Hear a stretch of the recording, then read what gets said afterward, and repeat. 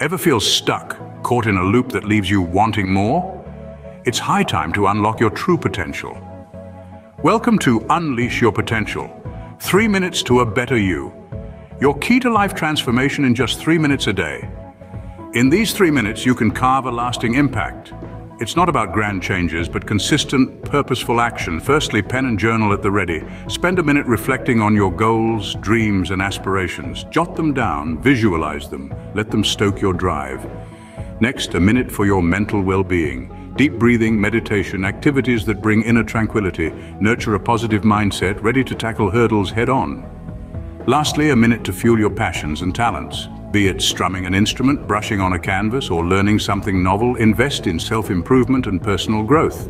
This small, daily commitment can make a world of difference. Picture who you could become by dedicating just three minutes each day to your growth.